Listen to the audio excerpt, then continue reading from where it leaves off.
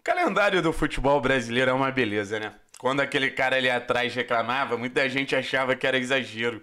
Mas um Atlético que faz uma das melhores campanhas de início de campeonato brasileiro é, de muito tempo, e ele tem que escalar duas vezes o time misto, porque tem uma decisão de Libertadores entre esses jogos importantes tanto na Libertadores quanto no Campeonato Brasileiro. E daqui a pouco tem decisão de Copa do Brasil e você vai ter que fazer toda uma gestão de elenco, toda uma engenharia para que você se mantenha forte no Campeonato Brasileiro. E, cara, uma parada é você se manter forte contra o Bragantino, outra coisa é você se manter forte contra o Palmeiras.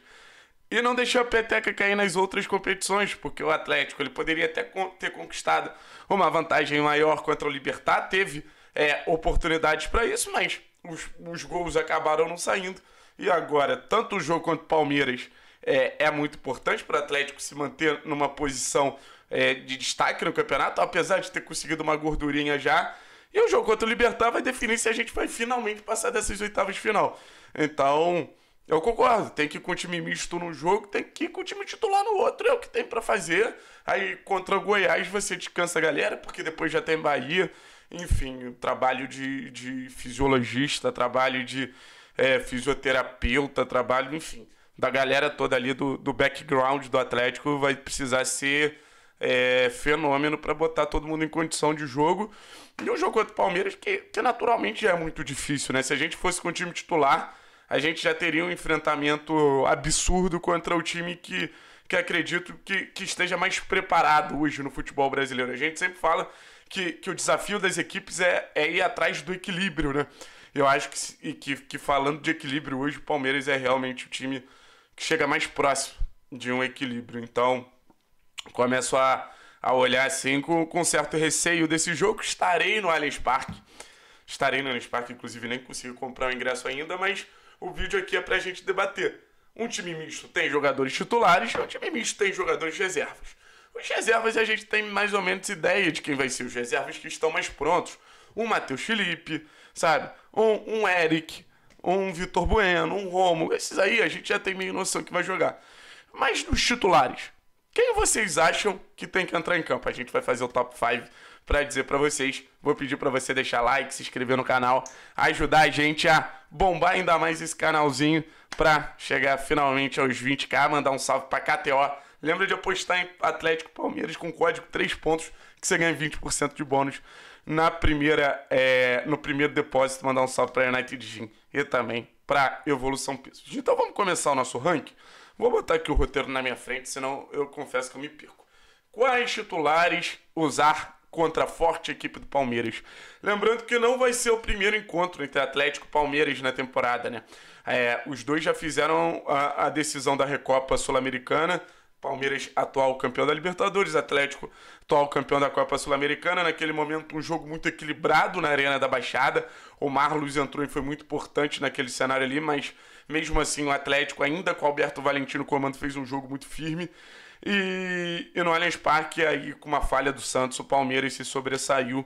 É, naquele momento, a gente ainda tinha Thiago Heleno, tinha Santos, vários jogadores não estavam nem no clube, sabe? Alguns jogadores que a gente vai citar nesse, nesse ranking aqui, então vamos embora. Número 5, acho que é meio óbvio, assim, até pela falta de concorrência, eu, eu olharia o Bento, assim, você ter um bom goleiro, um goleiro que vem decidindo ao seu favor num jogo tão difícil como é o jogo contra o Palmeiras, e naturalmente o Palmeiras vai chegar, naturalmente o Palmeiras vai ameaçar, é natural, o goleiro ele pode ter uma sequência de jogos maior, fica ali naquela zona, o Bento ele vem fazendo boas partidas, sabe? Não teve culpa nenhuma no gol do Libertar, então é, pensar em colocar um, um, Anderson, pensar em colocar um, um Léo Link nesse momento, acho que não faz muito sentido. O Bento vem melhorando até nos pontos que a gente chamava mais atenção dele, né? Bola aérea, é, na hora de sair do gol também, é um cara que, que vem conseguindo ser mais ativo, sabe?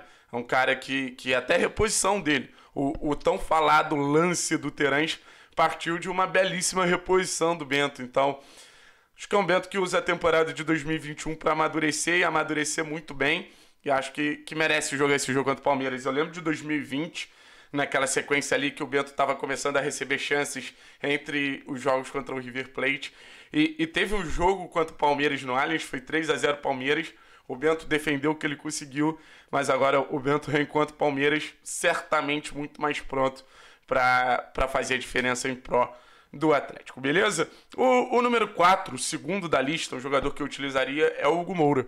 O Hugo Moura vem até numa sequência de jogos razoável, mas eu penso na competitividade ali no meio-campo, sabe? Na hora de fechar os espaços por dentro.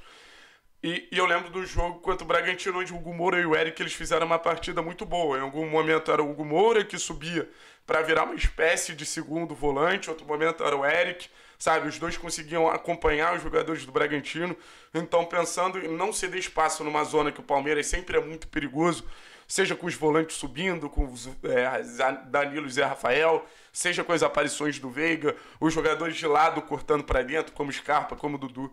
Eu acho que você precisa ter essa área muito bem protegida e, e o Hugo ele te entrega isso, né? O Hugo que vem num bom momento da temporada, não faz um bom jogo contra o Libertar, mas a sequência é positiva, um jogador de pegada, um jogador que morde. Eu acho que, que fora de casa, assim, vai, vai fazer mais sentido. Acho que é até um reflexo para se ter em relação ao jogo contra o Libertar, sabendo que o Christian não está 100%, sabe? Será que no jogo que, que a gente vai ter que se defender contra o Libertar não vale a pena um meio-campo um pouco diferente, tanto com o Hugo quanto com o Eric juntos? É, é uma reflexão que eu, que eu convido vocês aqui a ter. É, é importante a gente destacar também o terceiro nome dessa lista, que é o Abner. O Abner que não joga contra a equipe do Libertar porque estava com Covid, deve estar à disposição para essa partida. E eu vejo o Abner assim como um cara para um jogo difícil, um cara que consegue respirar. A gente não tem lateral esquerdo reserva, é que nem goleiro. Então é meio por, por, questão de falta de opção também. Mas o Abner é um cara que consegue botar a bola no chão, faz a gente respirar, vai ter um confronto muito difícil com o Dudu.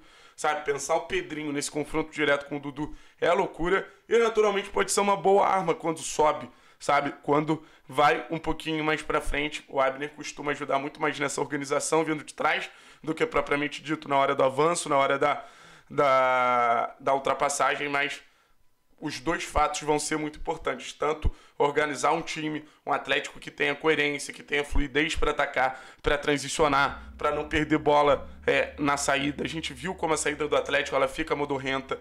Palmeiras é um time que pressiona, pressiona bem, sabe? Então, acredito assim que, que você ter o Abner ali vai, vai te dar um pouquinho mais de tranquilidade no jogo, tanto defensivamente quanto na hora de construção. Número 2, um jogador que não vem sendo titular, mas acredito que é titular, é Agostinho Canóbio, né? O Canóbio que está voltando de lesão. A explicação do Canóbio é meio fácil. Acho que é, que é um jogador extremamente competitivo, um jogador que, que dificulta é, a vida do, dos adversários porque marca, porque morde, porque incomoda, sabe? É um jogador muito mais nessa questão da disputa do que da criatividade, que vai gerar uma grande jogada. Não tenho essa expectativa em relação ao Canóbio mas jogando fora de casa contra um grande adversário, acho importante você ter esse cara de pegada, de mordida, de, de pressão, de incômodo, sabe? Então, é, até pensando no Canobi voltar ao ritmo que a gente conhece dele o mais rápido possível, precisa do pulmão, né? O, o entre os jogadores do Atlético, acho que é o mais é o que mais precisa dessa, dessa capacidade de correr, de disputar. E, e vai ser muito bem-vinda a utilização do Canóbio para incomodar aquele lado esquerdo ali do Palmeiras com não sei se vai jogar o Piquerez, o Piquerez é um cara muito físico, duas crias do Penharol, né? Inclusive interessante esse fator.